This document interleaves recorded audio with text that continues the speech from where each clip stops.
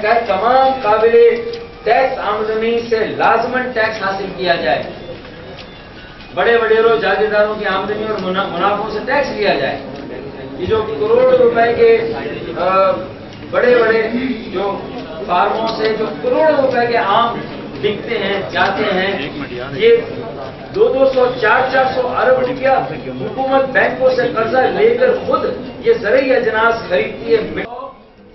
1200 अरब रुपए के जाए अफगान ट्रांसिट ट्रेड स्मगलिंग और अंडर इन्वाइसिंग का खात्मा किया जाए, और सियासी बुनियादों पर जो कर्जे लेकर माफ़ कराए गए हैं, इन कर्जों को वापस लिया जाए तो इससे कुल मिलाकर 800 से गुंजाइश है ये 800 से 1200 अरब रुपए के इजाफी वसाई लिए जाए।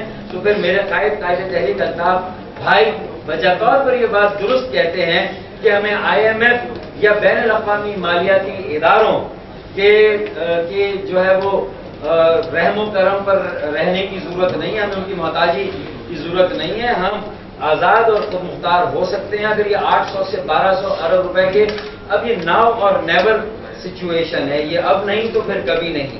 अगर हम समझते हैं कि इस मौके को अगर हाथ से गंवा दिया गया, और ये बस भी स्टॉप से चली गई, या ट्रेन भी स्टेशन से निकल गई तो फिर इसके बाद इतनी जल्दी कोई और बस या ट्रेन आने वाली नहीं है। आपने एनर्जी क्राइसिस की बात करी डॉक्टर साहब टॉप प्रायोरिटी ले डिस्काउंट रेट की आपने बात की है कि डिस्काउंट रेट में कमी की जाए लेकिन उसकी आपने शरह प्रपोज नहीं की है कि कितना सिंगल डिजिट है अभी तो डबल डिजिट चल रहा है और अठारह परसेंट है। सिंगल डिजिट होना चाहिए चौदह साढ़े चौदह फ़ीसद है। चाइना भारत अ, Korea South Korea Malaysia Thailand Philippine Bangladesh Vietnam ये वो आठ दस ममालिक हैं जो हमारे खत्े में जुनूब जो जैसे कहते हैं कि मशरक़ वहीद में है एशिया में या जुनूब जुनूब जुनूबी एशिया में तो यहाँ चार से सात फ़ीसद है मार्कअप रेट। तो सिंगल डिजिट में होना चाहिए मार्केट रेट और ये रिस्क हमें लेना होगा। अगर हम एक तरफ़ आम लोगों पर हमने टैक्सों की भी भरमार की हुई है। दूसरी तरफ़ उन्हें तरक्की में हम कोई मौका भी नहीं दे रहे कोई समाजी मासी इस्लाह का प्रोग्राम भी नहीं है।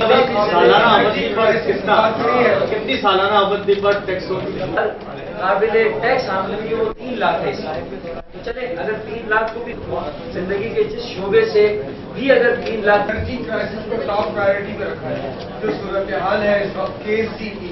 कंटिन्यूड स्ट्राइक है और एनर्जी क्राइसिस पूरे पाकिस्तान में सोल्यूशन आपने दिए हैं। आप क्या समझते हैं किस स्ट्राइक कंटिन्यू है इस हालात में कैसे आप इस चीज़ को देख रहे हैं?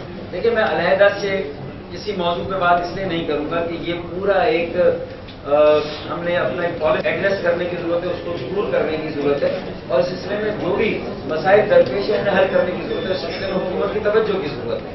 डॉक्टर साहब मेरा आपसे सवाल ये है कि जमहूरियत आपने साथ में मैशियत या रैली का पहला अब आपने जो प्रपोजल इन नुमाइंदों को दे दिया बड़ी हिसाब से उसके बाद। सर मैं ये कह रहा था आपने कहा कि हुकूमत को पेट्रोल लिया जाता है या आवाम से ये लेवी ली जाती है इसकी बजाय जो 800 से 1200 अरब रुपए के इजाफी वसाइल हमने तजवीज किए हैं, उन पर क्यों नहीं हम अपनी मीशत को मुंतकिल करते और अपने बजट को? और हम क्यों ये आसान रास्ते अख्तियार करते हैं जिसके ज़रिए से ये टैक्सों की भरमार और ये लेवी और ये बस्ते हम आवाम पर मुंतकिल करते हैं? तो हमने बुनियादी बात, उस पर गौर करें आप। अंदर बहुत सारी ऐसी चीज़ें हैं जो पहले भी कहते रहे, दवाई आमदनी वगैरह कोई ऐसी चीज़ें हैं तीन, चार जो लोग समझते हैं और दूसरी तरफ़ आपकी तरक्की की शरह नमू मुसलसल ये तीसरा साल है कि दो और ढाई फ़ीसद के दरमियान है और तीन फ़ीसद से कम है। तो आपको इसको इस तरह तोड़ना है कि महँगाई में भी कमी हो और तरक्की की रफ्तार में भी इजाफा हो।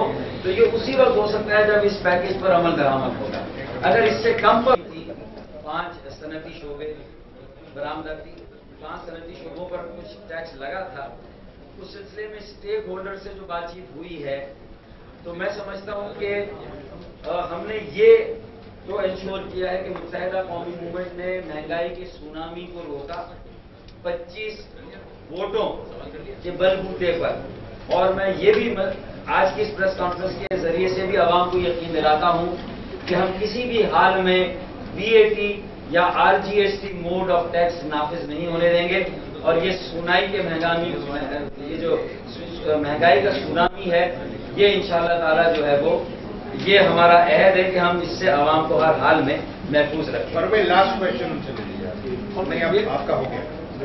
हाँ, आपका आप लास्ट जुबैर साहब। पर भाई क्वेश्चन ये है कि आपने जो सजेशन दी है इसमें हमने बात की तेल और गैस की। तो गैस की एलोकेशन कौमी शोबों के लिए, जो सनती शोबे हैं, उसमें क्या उसकी तरजीहत होनी चाहिए, उसका असर नौ तयन हो? ये मैंने जो तोानाई का बहरान, उसके जिम में बहुत सारी चीज़ें बहुत तफसील हो जाती फिर हर सेक्टर को अलग लेना पड़ता है। उस जिम में ये हमारी सजेशन है कि असर नौ तयन होना चाहिए तेल और गैस की कीमतों का सारे एक्सेस को देखकर, और सनती शोबों में जो गैस और है, उसकी तरजीहत क्या होनी चाहिए?